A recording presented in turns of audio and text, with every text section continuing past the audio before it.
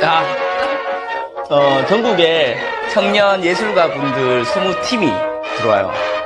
네, 그래서 이 목욕탕을 저희가 어, 전시 공간으로 바꿔요. 그래서 다음 주 월요일부터 전시가 되고, 그래서 12월 달까지 전시가 이루어질 거예요. 계속 이제, 계속 그 청년 작가들이 들어와서 전시를 계속해요. 아니, 계속 볼 수 있어요. 다음 주 월요일부터. 어, 월요일부터 전시하고 오픈식을 하려고.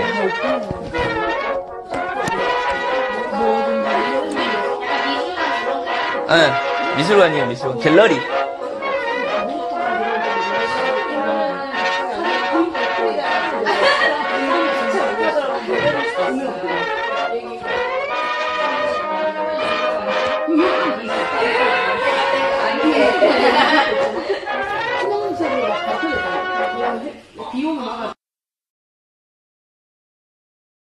네, 빨리 청소를 해놔야 돼. 지금 청소하러 갔잖아요, 그래서. 지금 가는 거야? 네. 그래서 오락한 거잖아요, 청소하러 가라고.